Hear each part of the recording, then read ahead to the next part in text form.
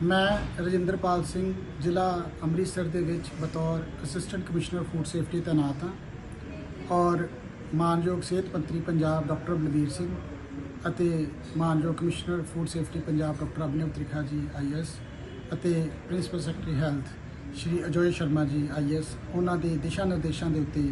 ਕੰਮ ਕਰਦੇ ਹੋਏ ਅਤੇ honourable deputy commissioner Amritsar Shri Ghanshyam Thori ji IAS ਅਤੇ additional deputy commissioner general Shri Harpreet Singh ji IAS ਉਹਨਾਂ ਦੇ ਹੁਕਮਾਂ ਦੀ ਪਾਲਣਾ ਕਰਦੇ ਹੋਏ ਕੱਲ ਇੱਕ ਅਸੀਂ ਖੂਫੀਆ ਸੂਚਨਾ ਦੇ ਉੱਤੇ ਰੇਡ ਕੀਤੀ ਸੀ ਦੇਰ ਰਾਤ ਪਿੰਡ ਮਾਨਾਵਾਲਾ ਜੋ ਕਿ ਤਹਿਸੀਲ ਅਜਨਾਲਾ ਦੇ ਵਿੱਚ ਹੈ। ਸਾਡੇ food safety wing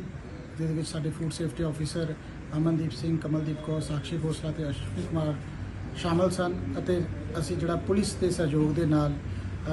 police station ਲੋਕੋਕੀ ਦੀ ਟੀਮ ਦੇ ਨਾਲ ਅਸੀਂ ਜਿਹੜਾ ਹੈ, ਇਸ ਪਿੰਡ ਦੇ ਵਿੱਚ ਰੇਡ ਕੀਤੀ ਸੀ। ਇਸ ਪਿੰਡ ਦੇ ਵਿੱਚ ਜਿਹੜਾ ਹੈ ਇੱਕ ਦੇਸਾ ਸਿੰਘ ਸਨ of ਰੁਲਦਾ ਸਿੰਘ ਨਾਮ ਦਾ ਵਿਅਕਤੀ ਅਤੇ ਇੱਕ ਕੁਲਦੀਪ ਸਿੰਘ ਸਨ of ਤਰਲੋਕ ਸਿੰਘ ਨਾਮ ਦਾ ਵਿਅਕਤੀ, ਇਹ ਦੋਨੋਂ ਘਰ ਜਿਹੜਾ ਹੈ, ਖੋਇਆ ਬਣਾ ਰਹੇ ਸੀ। ਖੋਇਆ ਜਿਹੜਾ ਹੈ, ਬੜੀ ਗੈ- ਗੈਰ ਕਾਨੂੰਨੀ ਢੰਗ ਨਾਲ ਬਣਾ ਰਹੇ ਸੀ। ਖੋਇਆ ਬਣਾਉਣ ਦੇ ਲਈ ਜੋ ਵੀ ਇਹਨਾਂ ਵੱਲੋਂ ਮਟੀਰੀਅਲ ਯੂਜ਼ ਕੀਤਾ ਜਾ ਰਿਹਾ ਸੀ, ਉਹ ਸਕਿਮਡ ਮਿਲਕ ਪਾਊਡਰ ਅਤੇ ਡਾਲਡਾ ਜਿਹੜਾ ਹੈ ਉਸ ਨੂੰ ਮਿਕਸ ਕਰਕੇ ਇੱਕ ਗ੍ਰਾਈਂਡਰ ਦੇ ਵਿੱਚ ਗਰਮ ਕਰਕੇ ਉਸ ਨੂੰ ਖੋਏ ਦਾ ਰੂਪ ਦੇ ਕੇ ਇਹ ਜਿਹੜਾ ਸੀ ਮਾਰਕੀਟ ਦੇ ਵਿੱਚ ਹਲਵਾਈਆਂ ਨੂੰ ਜਿਹੜਾ ਹੈ ਸਪਲਾਈ ਕਰ ਰਹੇ ਸੀ। ਅਤੇ ਇਸ ਦਾ ਜਿਹੜਾ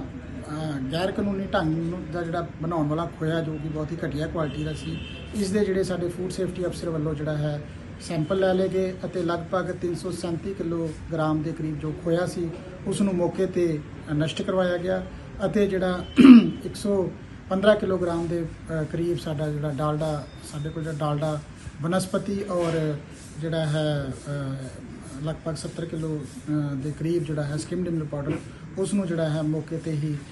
ਸੀਜ਼ ਕੀਤਾ ਗਿਆ ਹੈ ਸਟਾਕ ਸਾਰਾ ਸੀਜ਼ ਕਰ ਦਿੱਤਾ ਗਿਆ ਅਤੇ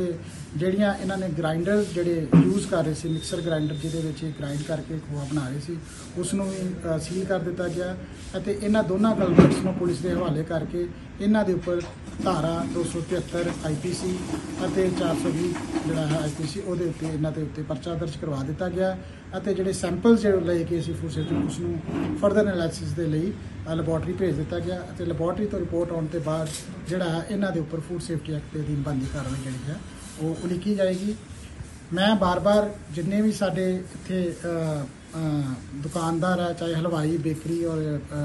ਡਰਾਈ ਫਰੂਟ ਜਾਂ ਕੋਈ ਵੀ ਹੋਰ ਖਾਣ ਪੀਣ ਨਾਲ ਕੰਮ ਕਰਨ ਵਾਲਾ ਬਾਰ-ਬਾਰ ਮੇਰੀ ਇਹ ਅਪੀਲ ਕਰਦੇ ਰਹੇ ਹਾਂ ਅਸੀਂ ਡਿਪਾਰਟਮੈਂਟ ਵੱਲੋਂ ਡਿਸਟ੍ਰਿਕਟ ਐਡਮਿਨਿਸਟ੍ਰੇਸ਼ਨ ਵੱਲੋਂ ਕਿ ਸਹੀ ਤੇ ਸਾਫ਼ ਸੁਥਰਾ ਭੋਜਨ ਜਿਹੜਾ ਹੈ, ਉਹ ਬਣਾਇਆ ਜਾਵੇ। ਪਰੰਤੂ ਕੁਝ ਲੋਕ ਜਿਹੜੇ ਇਸ ਤਰ੍ਹਾਂ ਦੀਆਂ ਮਾਲ ਪ੍ਰੈਕਟਿਸਿਸ ਕਰ ਰਹੇ ਆ, ਉਹਨਾਂ ਦੇ ਉੱਤੇ ਡਿਪਾਰਟਮੈਂਟ ਦੀ ਜਿਹੜੀ ਹੈ ਔਰ ਸਾਡੀ ਸਰਕਾਰ ਦੀ ਵੀ ਜਿਹੜੀ ਹੈ ਜ਼ੀਰੋ ਟੋਲਰੈਂਸ ਹੈ ਅਡਲਟ੍ਰੇਸ਼ਨ ਦੇ ਉੱਪਰ ਅਸੀਂ ਜਿਹੜਾ ਹੈ ਬਾਰ-ਬਾਰ ਤੁਹਾਨੂੰ ਇਹ ਕਹਿ ਰਹੇ ਹਾਂ ਕਿ ਤੁਸੀਂ ਜਿਹੜਾ ਹੈ ਇਸ ਚੀਜ਼ਾਂ ਤੋਂ